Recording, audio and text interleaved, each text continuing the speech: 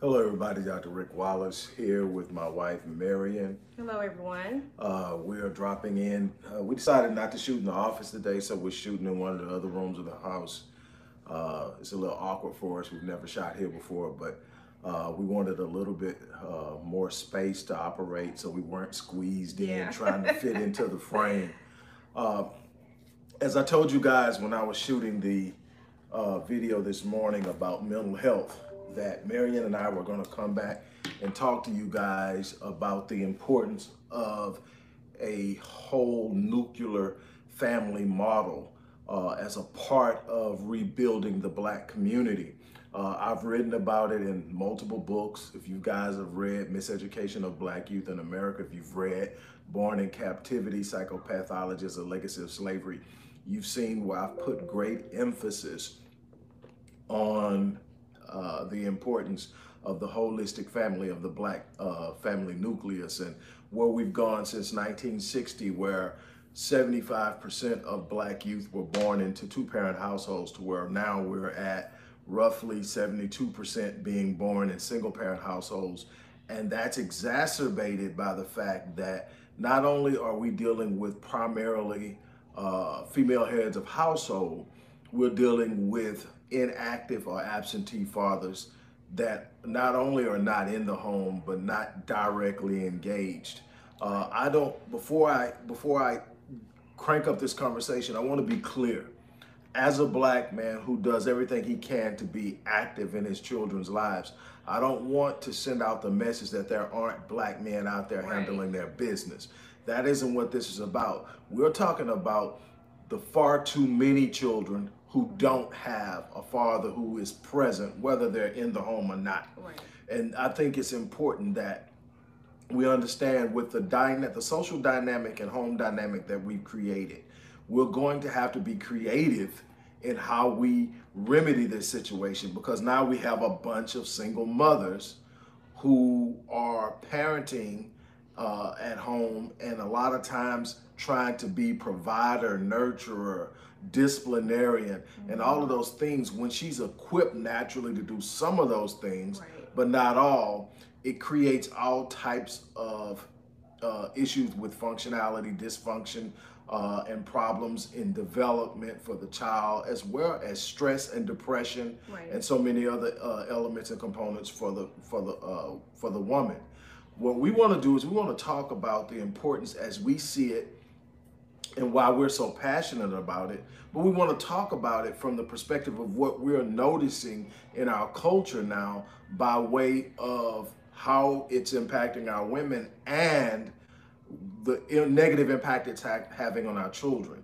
Right. Uh, Marion, you work with girls. You also have a, uh, friends with uh, girls who are dealing with certain issues with, you know, having babies and not having a father present, or having someone present that's not a positive role model. In in worst case scenarios, we've seen uh, situations um, one way or another, whether we observe it uh, through news, through the news, through posts uh, through people sharing their stories with us, where you got men or young young males uh, being violent, Right. and so all of that comes from the lack of proper socialization and development within the home in the early years. Mm-hmm. That's what the nuclear family is for. It's an institution, and if we don't see it as an institution, we miss our opportunity. The family is not simply uh, an environment. It's an institution. It's an institution where you teach values. Right. It's an institution where you instill principles.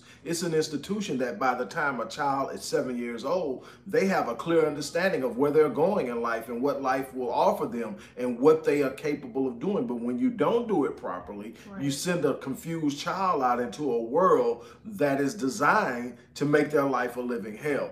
So Marion, I mean, you've worked a lot, especially with girls, but you've reared some boys, Right. so you know it from almost every angle. When we when when we're sitting up and talking, and you're looking at what we see, Right. uh, I mean, what is one of the first things that comes to mind when you think of the family? Um, the first thing that comes to mind for me, dealing with it personally, having experience in it, is our children are growing up with abandonment issues. I say this word a lot, and I think a lot of people just kind of let it roll off their back, like they're not really getting it. When a child or have abandonment issues, they don't um, develop um, emotionally well, and so they may attach themselves to some things that are not good for them because they don't want to feel alone or they may detach from everyone because they don't ever want to feel the pain of their father leaving again. So it doesn't create healthy, productive youth when they feel abandoned. They don't feel good enough. And so they're always searching for something to fill that void inside of them. And that's that absentee parent. It goes so much deeper than the mother and the father um, co parenting. It goes so much further than that because the, the, the male or the female child needs to have both roles playing that part effectively and efficiently. And so that's how they're, like you say, socialized. They're socialized to know how to handle a young lady or, you know, for the, for the, the, the boy to handle a young lady and for the young lady to handle another boy because they see that interaction between mother and father. So it's, it's, it's more than what we think. And it it kills me that some of us women think we don't need that masculine energy around. We honestly believe it's not going to affect our children. But guess what? It is affecting our children. It's affecting our children a great deal. And I want to let you talk more about how it's affecting our children uh, okay. for, for young men. Okay, what you have to understand is we talk a lot in the scope of our development of understanding of the cosmic world. We talk a lot about vibrational energy. We talk a lot about vibration. We talk a lot about energy, energy in the scope of spirituality. But I don't think we really truly get an understanding of just how important it is uh, in the development of children. Uh, when a child is first born, the first thing they perceive is energy before they can communicate verbally or audibly, before they can understand language, they're reading energy. That's why you can have a child that you pass off to a certain person. Uh, Marion's trying to get some things together, so don't worry about it. Uh, you have a child you pass off to a certain uh, individual, and that child automatically starts crying. Well, of course, uh, what it is is they're sensing energy from a from I mean from the time and per point they're first born.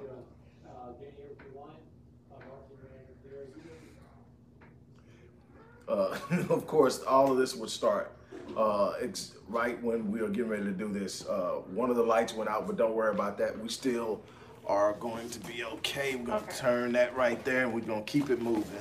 okay. Because it's just one of those things. of course, it would happen uh, on the first time we do this somebody rings the doorbell and try to sell us something. I mean, it, it is what it is.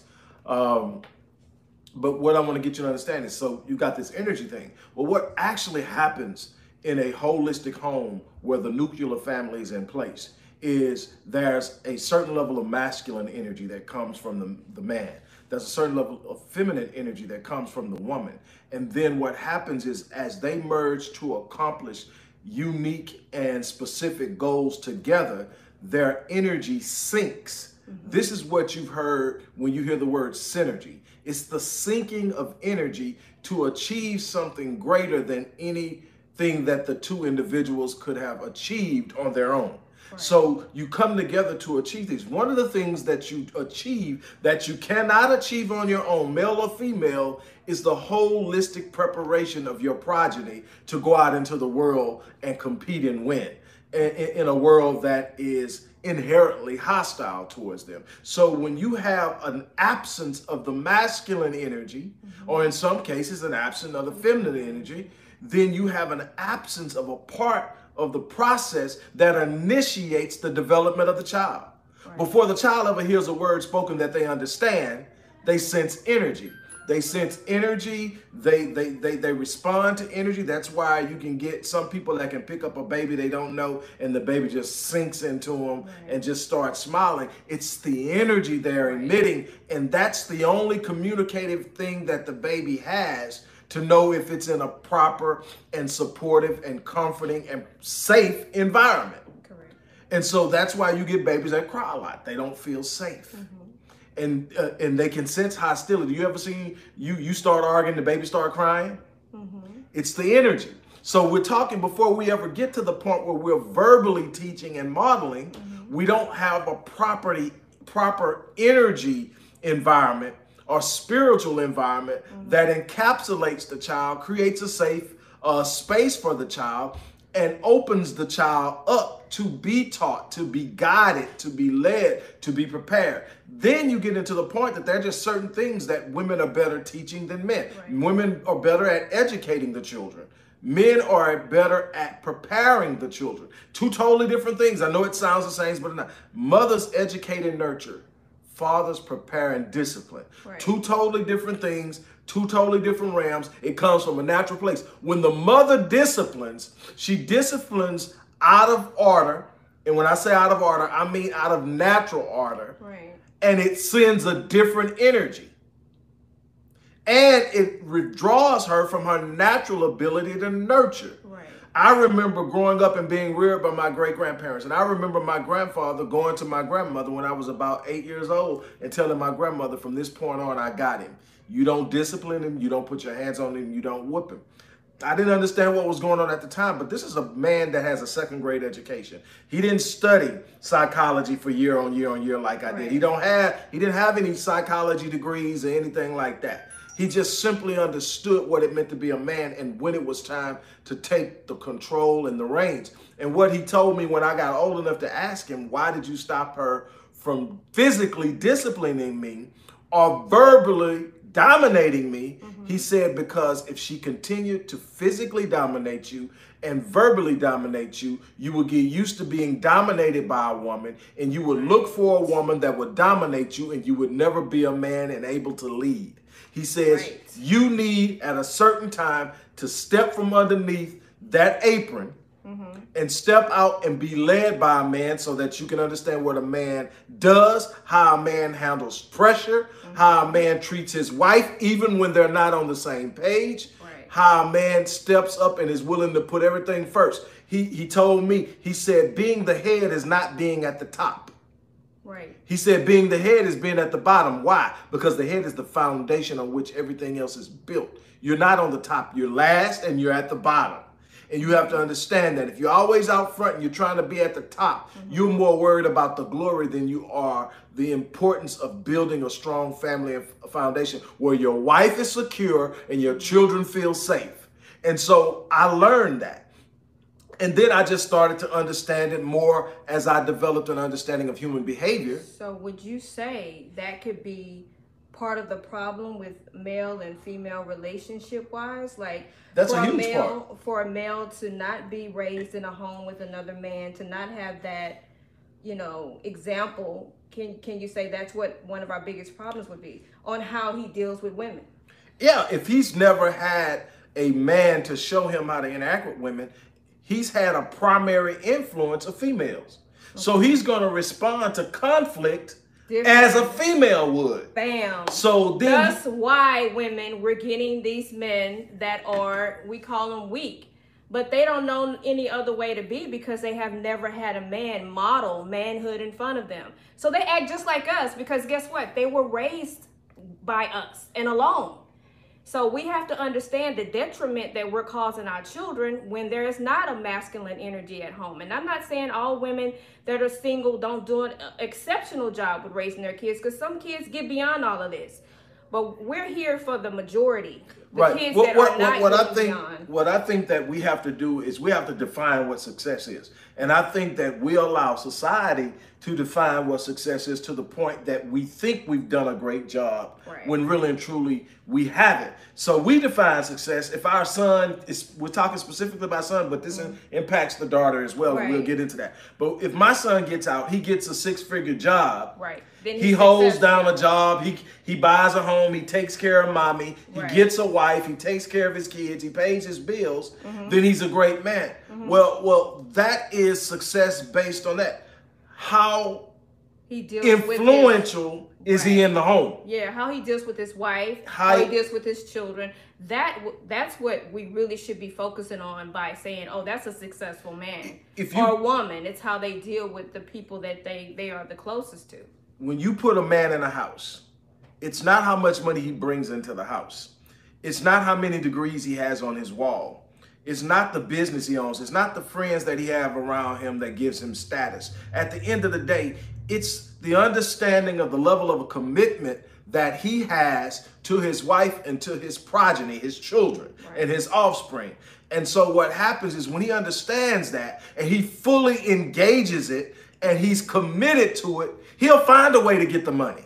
Right. He'll find a way to elevate himself so that he can be everything that his family needs.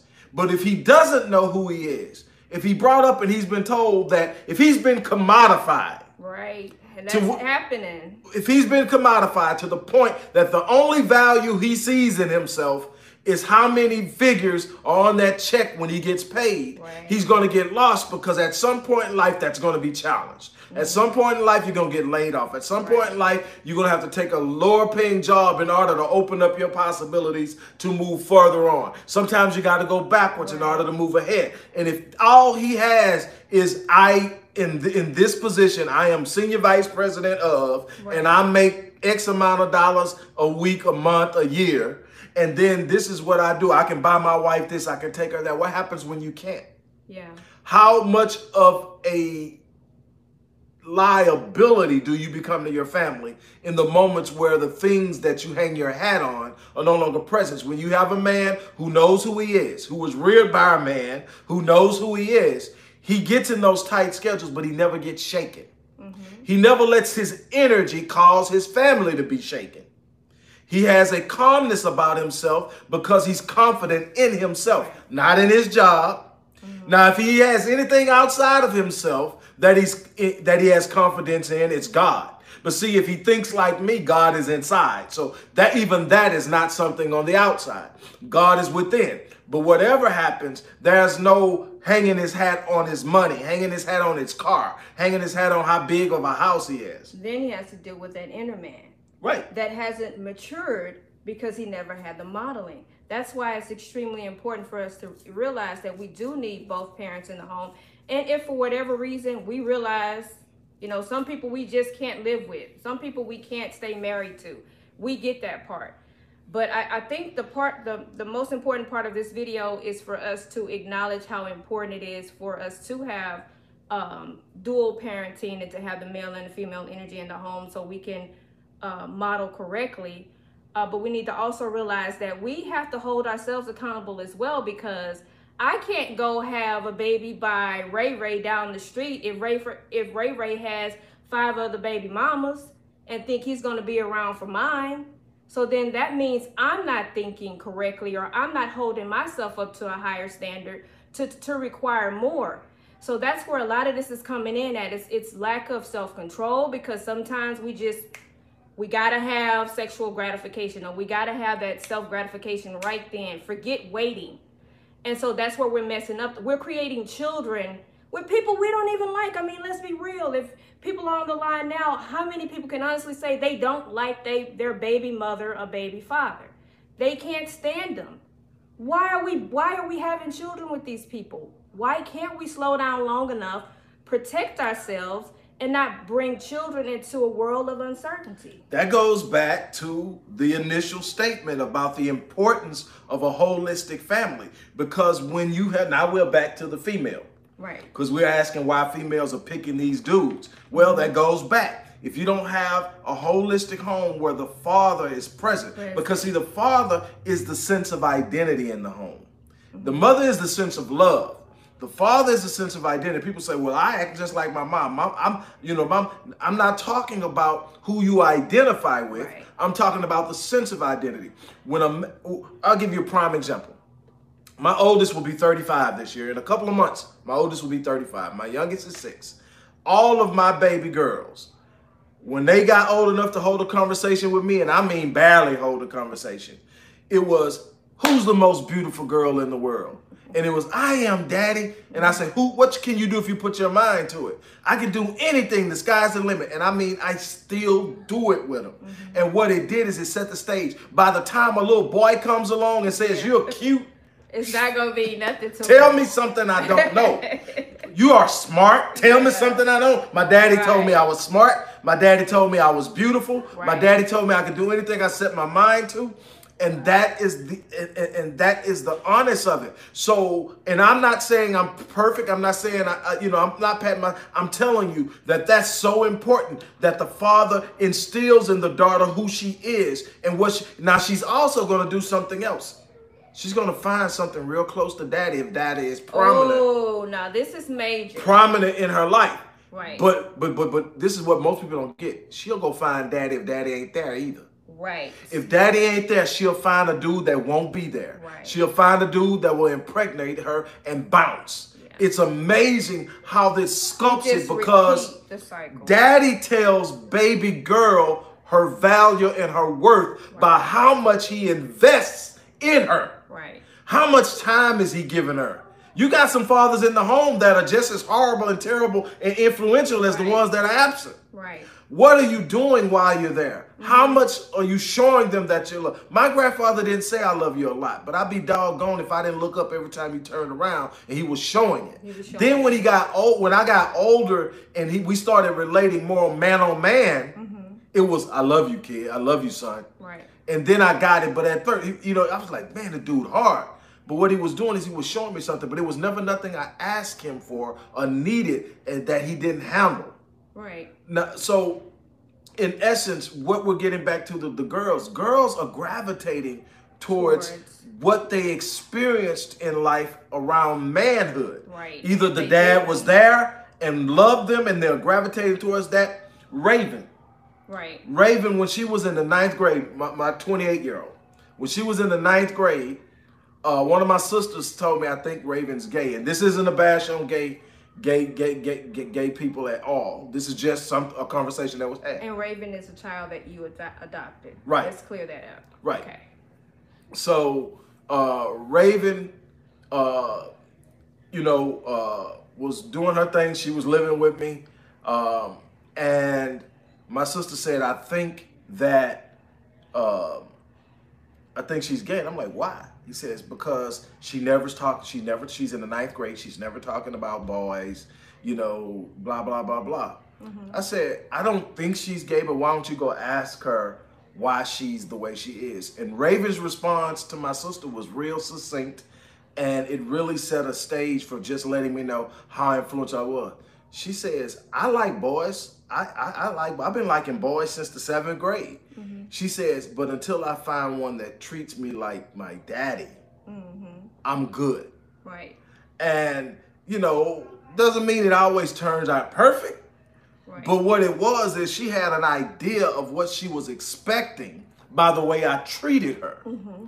And that goes along with any other child. It's like, hey, I expect to be treated a certain way because my daddy treated me a certain way. I also watched how my daddy treated my mom. And with my older daughters, they watched how I treated their mom even after I was gone you know, the way I handled their moms, the way that I presented and handled everything from the conflict to everything else. I, Okay, well, let's go back to Raven. Um, your sister having a question about Raven possibly liking girls.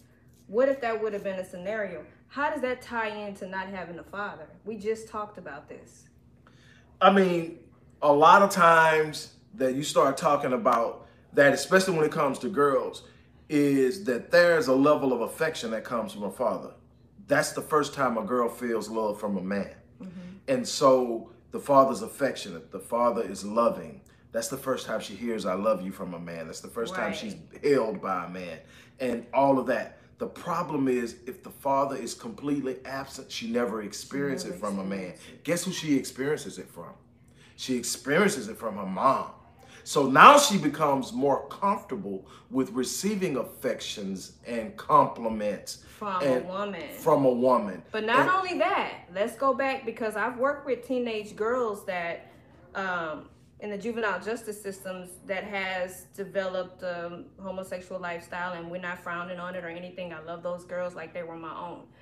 But what I've noticed is that most of those young girls that do decide to take on being um, a lesbian, homosexual, whatever you want to call it, what I'm finding out is that because there's no father in the home and then the mother's trying to put best forth effort of working she's never home she's always gone some of those girls have to take on a masculine energy to protect their siblings.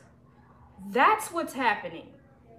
And so it's almost like they're being thrown into this world of sexuality because they don't really understand it. You got to understand And they're taking on this. roles that they they shouldn't be responsible for. all of this is happening and i i don't want it to get into a clinic about that but Right. it's so important because it's becoming so prevalent what you have to understand is you got several developmental stages. You've got from birth to seven years old. That's your theta stage. That's the mm-hmm. stage when a child is like a sponge. They're soaking up everything and they're creating what's known as norms and standards. They're creating the paradigms through which they will live life Right. and that's what they're going to do. The second stage is more mental development along with physical development. Mm-hmm. Through this stage, they're going to experience bodily changes, uh, different desires, hormonal shifts. Mm-hmm. And in that part, if they're going through conflict in, in that is in opposition of the natural order of life as quote unquote we most see it, mm-hmm. then that's going to create confusion Right. they're going to become confused they're going to become frustrated and there's also going to be a hatred for young girls especially for males so then you got Yeah. and then most of the time in this environment if mom is trying to get with a dude he ain't doing right Yeah. so then they picturing this and they going like this some bull crap Yeah, no men are any they're not any good. That's where there's Uh, no good uh, black men out there. All right, and then we must actually talk about this, and this goes for male and female. Right. And the LGBTQ community gets so upset with me when I talk about this, but I've been doing this for two decades plus, and I've done the studies, I've done the actual clinical engagements with these kids. We're talking about especially young males and females, and, and I, I got a friend from high school who's gay and we talk about this a lot. And for two people who sit on two sides of the spectrum, we agree almost on every freaking thing. Right. And it's crazy that you can have that, but we'll, what we do is we put our feelings aside and we deal with objectivity. And the thing is this I'm talking high 80s to 90% of these babies have been molested. Let's talk about it. 80 to 90 percent of these babies have been molested. Every and and i uh even today i started counseling uh people from the homosexual community the gay community about 12 years ago uh as a part of a program. I haven't met a black now I, i'm specifically i'm being specific because when you're talking studies and empirical data is important. I haven't met a black person yet that came to me because they were frustrated with what was going on and they were confused that hadn't been molested. Many of them had blocked it out Right.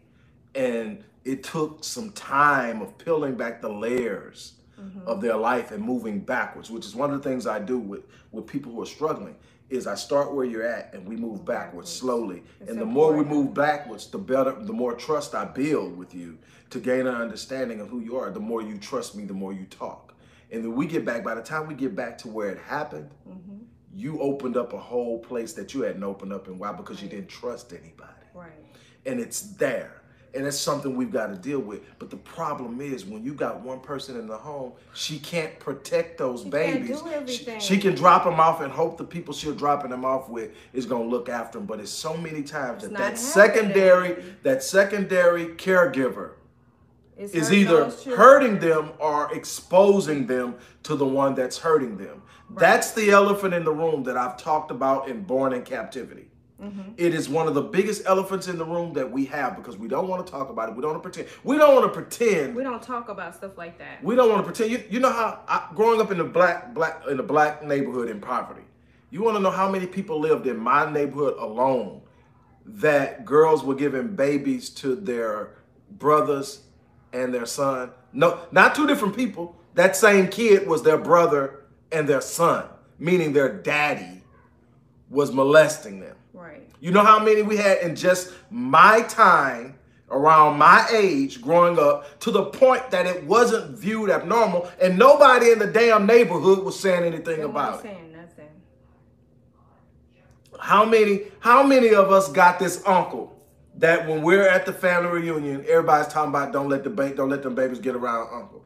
That don't let those girls go around Uncle so and so with them shorts on. Mm-hmm. Don't let how many of us are dealing this is way more prevalent in our community than we want to admit. Right. We, we love to talk about the perversion of white people, and they are sick beyond beyond what you can imagine. But we got some things we need to, We deal, need to with deal with inside.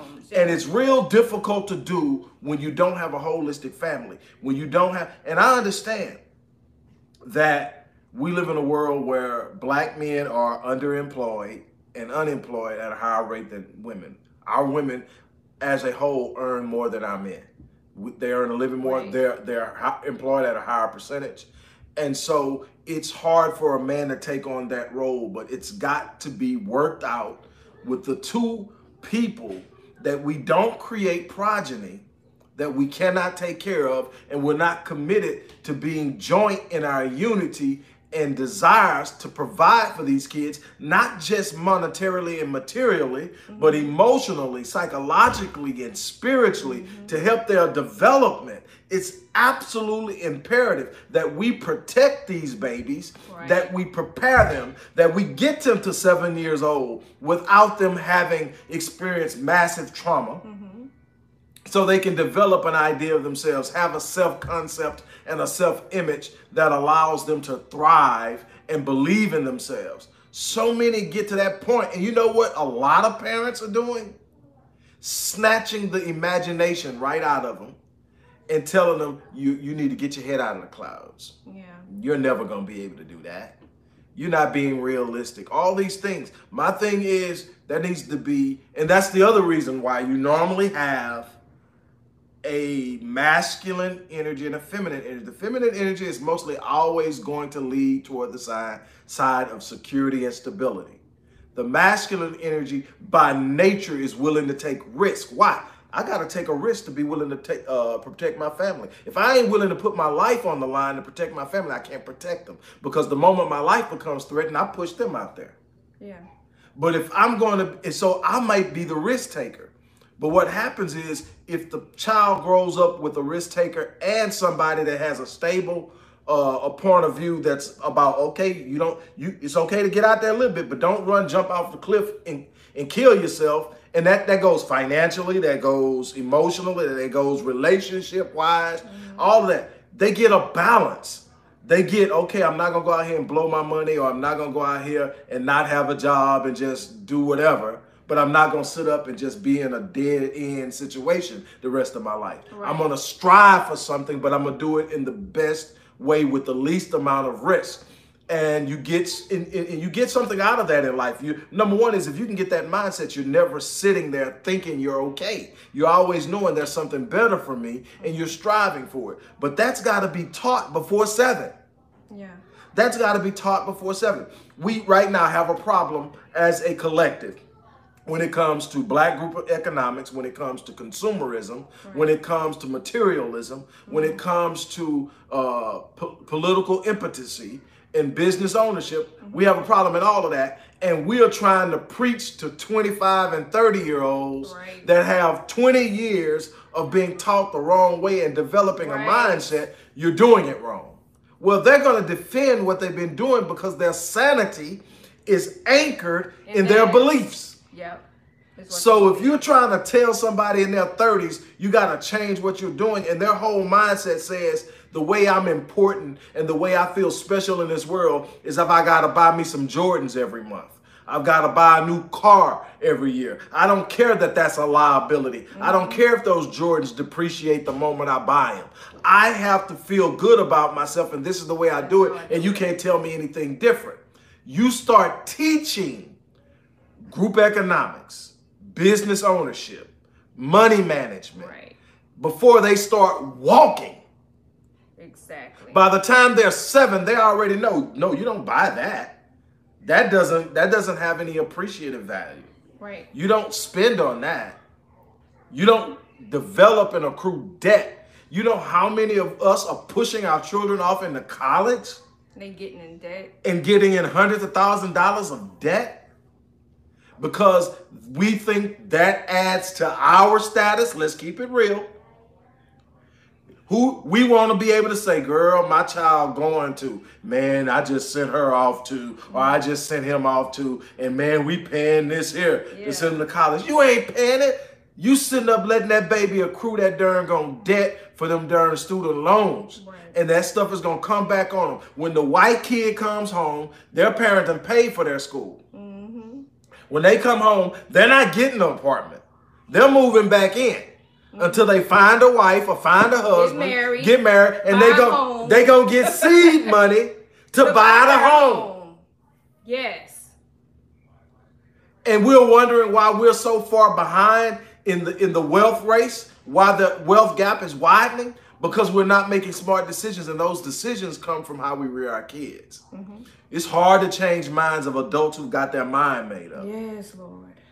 And, and, and, and they can be crashing. You can show them a picture of a person crashing, doing exactly what they're doing. That ain't me though, Dad. Yeah. That ain't me. I ain't gonna crash. Bam! Hey, Dad, can we talk? And then we gotta fix it all. And here we go fixing it. But here's the thing though. At least we're here as a couple to handle it. Now imagine a mother by herself. Yep. And I was once that mother. And you're trying to work it out and you're trying to figure it out. You're calling and you can't get dad on the phone. You can't get dad to show up. You can't get dad to play no roles. I remember having problems with my younger son, and um, he had disciplinary problems because he was angry. He was angry because he has abandonment issues that we are currently still working through with him. He actually goes to counseling and everything. I'm only sharing this because I want to help somebody else. And so before Rick and I met, I was going through all of this drama by myself. I'm trying to save him because I see him going off a ledge and he was so young. I couldn't believe it. Hmm. So I was reaching out to uncles and I was reaching out to the church and I was reaching out to the Boys and Girls Club and I was reaching out to what's the other organization? YMCA. all kinds of organizations. Nobody could help me. Nobody. And I remember uh, when Rick and I first started talking, I explained my situation about my son, and he, oh man, he was like, "What did you say?" Ain't nobody that Nobody's bad. that that challenged. No, nobody's that But bad. once he got down here and he was able to come around and see that it was difficult, but it, it comes along with the territory of Man, woman kid- trying to do it by herself without a male present. These boys are angry because they don't understand why their fathers don't care enough to be around. Hmm. And it wasn't like I was this. Now I know it's some bitty, bitter baby mamas out there, ladies. We gotta stop being bitter. There are some bitter baby mamas out there, baby mothers, whatever you want to call them, that will not cooperate with the child's father. That wasn't I. Nope. I welcomed him because I knew they needed their interaction with their father. He wouldn't do it because guess what? Who was going to help? It was going to help me. It was going to help make it easier on me so we can raise our children together. He didn't want easy for me. He wanted struggle for me. That's another thing, lady. That's a whole nother topic. There are brothers out there that will give you a baby just to see you struggle, and they will not help you. We got to get beyond and know and know how to better choose our mates, but that's a whole nother topic. But my whole point of this is when we're having these children and these men are not around, or even there's some absentee mothers, we got to understand that that child is going to have some issues down the line. Now, some kids don't give you no problems, even though they have internal issues. They don't give you no problems until they're out the door, they're doing their own thing, and then they wonder why their relationships won't work. Their relationships don't last because they haven't had that positive modeling that they need to be socialized to interact with the, the, the other gender. That's why it's so important, and that's why we have to get it, everyone. We have to get this because other races they figured it out. Not saying that they're perfect and they don't make mistakes, but they figured out the order of this thing, and the order of this thing is to do it the right way by choosing at least the best mate we can. We wait before we have children. We finish our education. We get married. We, we buy a home, and then we start to raise our children us on the back end, we're not doing it. And I'm not saying this every every one of us, but this the majority of us, we're not doing it right like like that anymore. Actually, our youth are going backwards.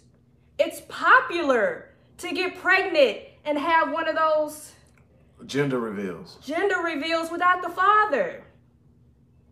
We're normalizing this behavior and it's just doing this downward spiral. And guess what? We're handling handling it, we're handing it down to the next generation. The next generation, the next generation. We're getting further and further behind the economic curve because we're at an economic disadvantage if we're raising all these children alone. Let's be And- real about and- that. But see, that's one side of the spectrum. Here's the other side of the spectrum. The other side of the spectrum is even if you get together and have a child and break up, and the man is taking care of his business, he's paying child support, he's paying half of the other expenses, and he's doing all that, he shows up and everything. How hard is it going to be for two people to take care of two homes, Yeah, take care of kids, mm-hmm. and build wealth? it's gonna be extremely hard. unless you are an exceptional earner, mm-hmm. and that's not our median earning as a race is 37,000. 37,000 a year is our mm-hmm. median earning. So that tells us a lot of people below the poverty line. Right. There's a lot of people right at the poverty line. And when the closer you move to six figures, the far, few, the fewer of us it is. Right. And so you have to know that when you take a home that requires two people to operate it mechanically, dynamically, financially, emotionally, spiritually, then you split that. Mm-hmm. You burden every area of your life Right. education, economics. Right. It's, it's It so makes a difference, it's so- so many different things that we are not paying attention to.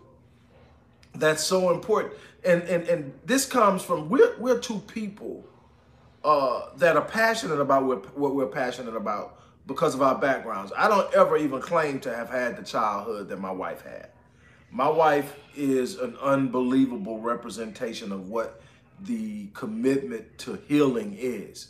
You know, she survived being molested at five, survived being raped at 14, survived being raped again, all before she becomes an adult. The person that should have been protecting her did not. And I actually met her because she came to me and she wanted to work on some things. And we had a professional relationship for a while. And then we split. She went her way to do her thing. She ended up writing this unbelievable book, Ghetto's Forgotten Daughter. Some of you have read it and you have come back and said it really blessed you. Uh, that's where the program we have now, Restoring Ghetto's Forgotten Daughters, comes from. Right. But she refused to stay where she was. But she knows what that looks like. Me, on the other hand, I had these unbelievable, awesome grandparents, great grandparents. My grandmother's parents reared me. But I'm going to tell you something. This is how powerful it is. And this is why I'm so passionate about Black Men Lead. I never met my father, he was within an arm's reach. I met my grandmother, his mother. I met a couple of my aunts and, and uncles. But every time I was supposed to meet him, that meeting would be set up and he wouldn't show up. The first time I met my father, I didn't meet him, saw him. And it was at his funeral. No, his wake. The first time I saw my father was in a casket. The second time I saw him was in a casket and it was being lowered into the ground. Being lowered in the ground with my dreams of knowing him, with my dreams of healing our relationship, with my dreams, with all the answers of why I wasn't good enough Right. for his attention and his love. It all went in the ground and I had to work it out on my own. That took years. He died when I was 14. Years. It took, I was in my 30s before I shook it. I was in my 30s when I realized I had been uh, highly successful as an athlete, highly successful as a business owner. Uh, everything I touched, I was just putting everything I had into. I mean, I just would go all out. And I didn't realize until I was 36 years old that I was still trying to prove to my dead dad that I deserved his attention. Right. That's how powerful this is. Yeah. And I said, my kids will, I don't care how bad the relationships get. Me and my kids, my older kids, we, we have, you know, a couple of them, not all of them, some of them, like my oldest, just a jewel. Nothing but joy and, and everything. I love her to death. You know, but I have a couple that done got kind of sassy with me, and it only happened once. But it, and even then, I was there. I told them, do your thing. But when you need me, pick up the phone. I'll be there. There's not a child of mine that can say they reach out to me and can't have me.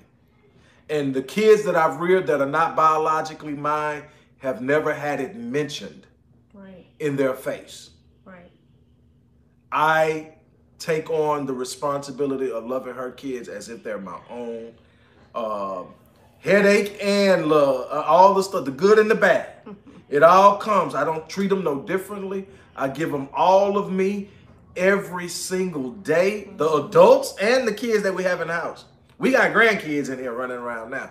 And, and the chief ain't here today. The chief grandkid, he the youngest, he the boss is out of them all. We got a total of nine grandkids. Yes. And the youngest one just turned two, going on 25 and he think he run everything in the house. Y'all probably met him because he'll come jump up while I'm doing a live and just jump up there and take over the uh, take over the stream. Mm-hmm. But there's no difference in it. But I was reared by my great grandparents, and I learned probably when I was about twelve that my great grandmother wasn't even my biological great grandmother. My real great grandmother died after she gave birth to my grandmother.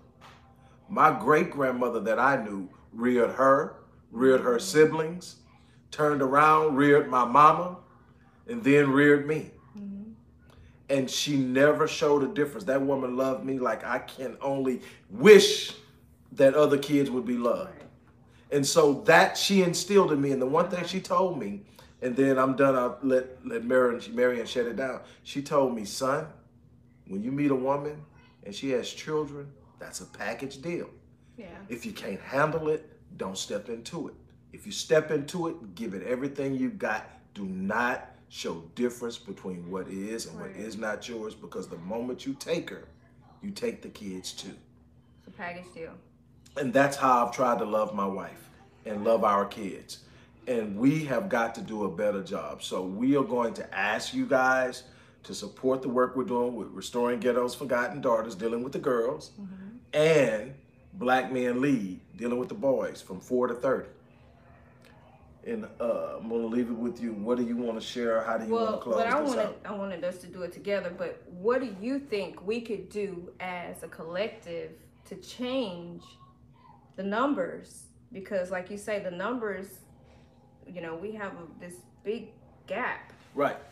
How, well, do, how do we change those numbers about single parent households? Again, it goes back to something that I say in both books, something that I say when I speak, something that I've shared with you guys before.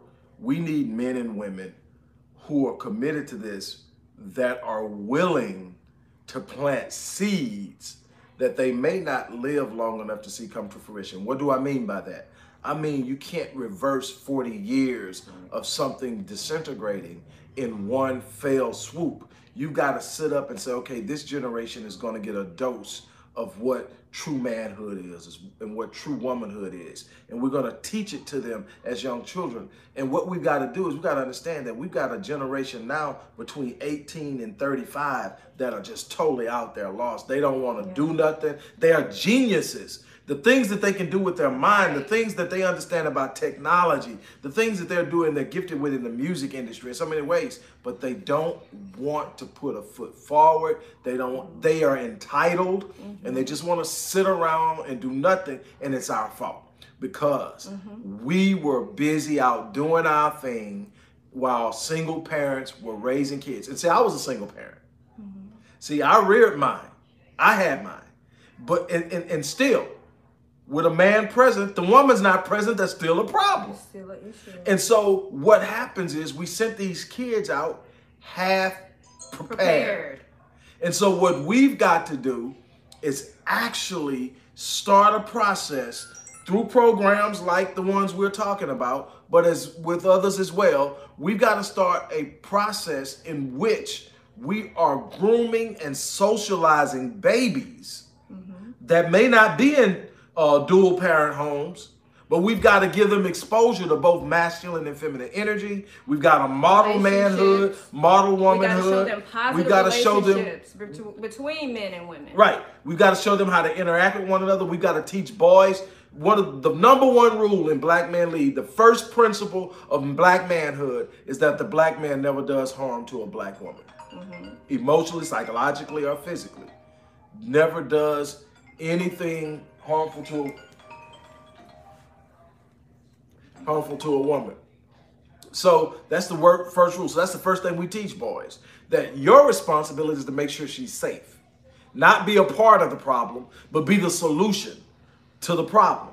And then we teach young girls to first of all understand the value of yourself. And when I teach young girls about worth, I say, I hear you talking about how how how, how much you're worth. I hear you talking about your value. But you got to understand something. Your value isn't what you say it is. Your value is what you're willing to accept from others. If you accept a boy talking to you out of your calling you out of your name, that's your value.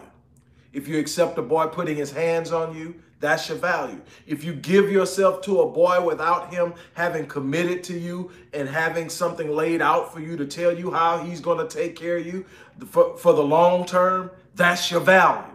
It's not what you say, it's what you accept. I can tell you my car is worth a hundred thousand, but if I take 50 for it, it wasn't worth but 50. Mm-hmm. If it's worth something, that's why uh, in dealing with high-end cars, you go into a high-end dealership, if that's a hundred and seventy-five thousand dollar price tag on it, you paying a hundred and seventy-five thousand. You know, you may get five thousand here for a cash if you're paying cash. Yeah. You may get a, a little extra for cutting all the bull crap out from financing. They'll give you a cash deal. I know this. They'll give you a cash deal, but they you not you're not gonna get twenty thousand off, thirty thousand right. off. No. Right. You're gonna pay it because if this is the kind of car you want, you can afford it. Mm-hmm. If you can't afford it, this ain't the car you want. You want a deal. You need to go where they give you ten thousand dollar rebates. Yeah. And stuff like that. But if you want to, you want this, you're gonna pay this for it. That's the value setting. That's how you establish value by saying, "I will accept nothing." Sorry about that. It, we're about crazy. to close off because we're gonna close like up. we're getting busy. Yeah, every, everything's going crazy. But uh, with that being said, look, we're about to get off of here. We want to thank everybody. We want to thank you for taking the time to spend as much time as you have with us. We hope that we will uh, join you. Like I said, we decided to sit in another room in the house. Uh, actually, it's kind of like our little personal space. Uh, I spend a lot of time down here, but this this kind of our little personal space. Uh, we decided to share it with you instead of doing it in the office uh, because it gives us more room to fit into the uh, frame of the camera. Uh, we apologize for the technical difficulties, lights going out, doorbell ringing. Uh, it's so much that just happened, but at the same time, I think that we got our point across. We need your support, um, and uh, we need uh, your blessings. Uh, go follow Mar- Marion. I'm gonna make sure I put that in the description box. Go follow Marion at her uh, YouTube channel uh, Restoring Ghetto's Forgotten Daughters, where she's focus, focusing specifically on uh, areas of love and concern for our babies. Uh, and when I say babies, I'm talking our young our young females from four up to 30. Uh, yeah. I mean, to me, those are all babies from where I'm concerned because I got kids. We both got kids older than that. So, um, man, we got kids in, our in their 30s. Wow. Uh, but oh, and, and and show a little extra love for your support this week. This is my birthday, birthday week. Saturday, I will be 53 years old. Mm-hmm. Um, and we have gone through a lot in the last few years with my health. Uh, so to be sitting here at 53 and saying uh, I'm looking forward to another 50 um, feels good because it was a time where it was Fred and I was really concerned about her uh, because she lost her mom through a heart attack. And she had to stand there and watch me suffer multiple heart attacks. Uh, and it wasn't easy. And so I asked God to give me another chance to make sure that she's okay. And uh, he did. So here I am. Um, on that note, we're gonna get out. But show your love. Go to the description box. Click that, but uh, click the link if you want to go to the site and give.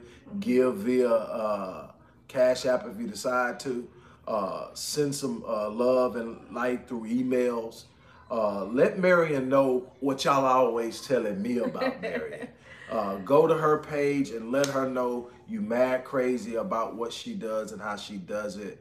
And, and I'm gonna try to get on there more. But just so you guys know, I'm so I'm such a behind the scene type oh, person. Man.